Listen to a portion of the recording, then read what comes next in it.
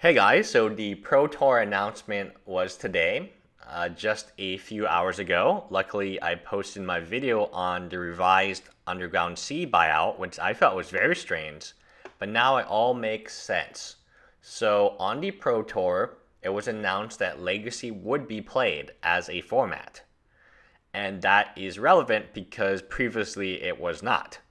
Now, Star City Games, the night before the announcement, raised not just Underground Sea, which I noticed, but they raised the volcanic island, Tundra Tropical Island.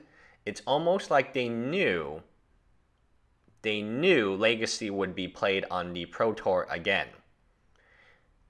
It's very similar to Eternal Masters. It's similar to when Modern first came to be with the Zendikar enemy fetchlands.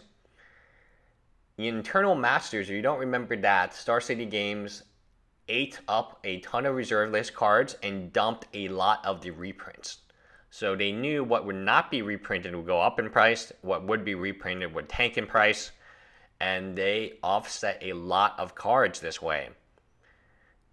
If you knew beforehand of this information, you can make a lot of money. Because now I was wondering, why does $500 for a revised Underground Sea? Seems kind of strange given that the marketplace is telling me it's 250 $300 for a good condition one. Why? The question is if you, the answer to that question, if you knew in advance, you could have a monopoly on the market.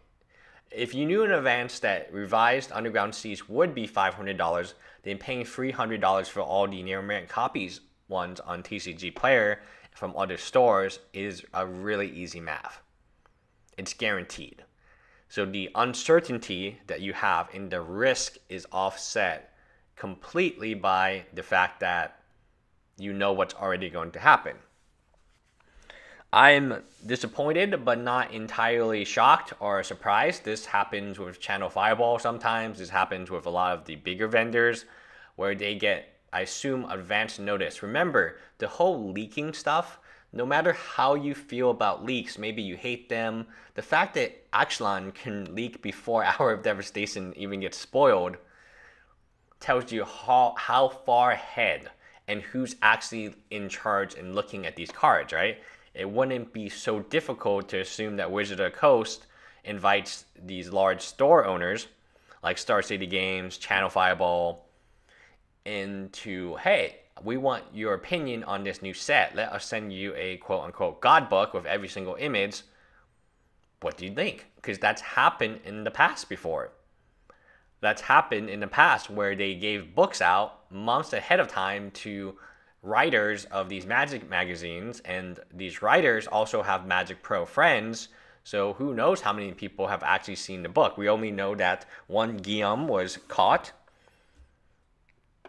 and that was it. But and that was they didn't do a increased investigation. They just caught one guy and punished one guy. But I assume that not just one guy received it; it was many, many people. So trios constructed that is what is new you need legal standard modern and legacy decks for the event makes sense but look at that word legacy uh, not a word that you would associate with the pro tour so Star City Games and other venues, maybe they didn't don't do it as boldly. This is a pretty bold move, right? It's a pretty bold move. And their stock was completely out. They only had one copy, one near mint copy at 500. So it wasn't like anyone could buy them out. They were well prepared and they already already, I mean, set the market. The market is set. I don't know. It's quite interesting, but this is the reason that like people say, "Oh, you're you're sharking people, you're taking them at." you can never do on the scale of Star City Games because you don't have insider information.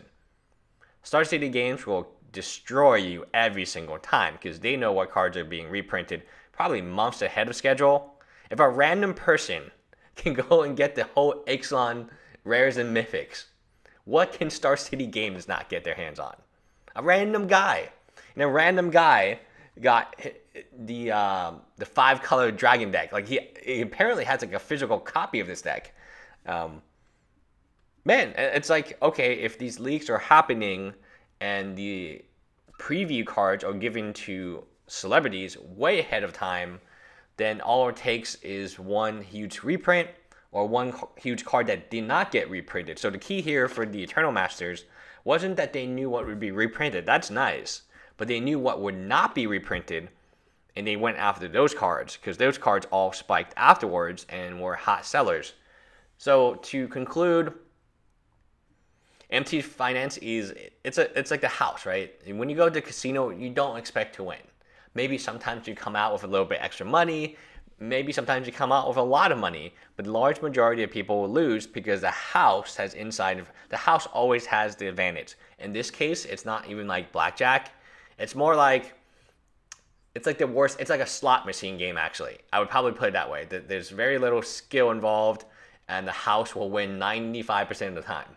And that is what MTG Finance has become because there's so much insider information. And I mean, you can actually spot these trends, right? I spotted a day ahead of time, which was good, but and I, but I only spotted for Underground Sea. I didn't know it was every blue, and I'm so glad I made that video. So I made that video yesterday um, and when the video was made, I was like, ah, oh, maybe I'll post it at 3 p.m. But luckily, I posted at 11 a.m., which I assume is before the announcement, which just happened recently. Anyway, that is it. Let me know what you guys think about this. Do you think it's fair, unfair? Is this how business goes? Uh, remember, Magic is an unregulated market, so not only are they not punished for this behavior, they're encouraged to do it time and time again. And really, it hurts players, right? Now Underground Sea is five hundred dollars. I thought it was kind of funny. I was like, oh, Star City Games, what, what, what idiots? It turns out they're not idiots, right? And they know exactly what's going on. And people will need these $500 cards soon enough. $2,000 for a playset, the cheapest. We're not talking unlimited. We're not talking alpha betas. Is insane to me. Anyway, that's it. Bye, guys.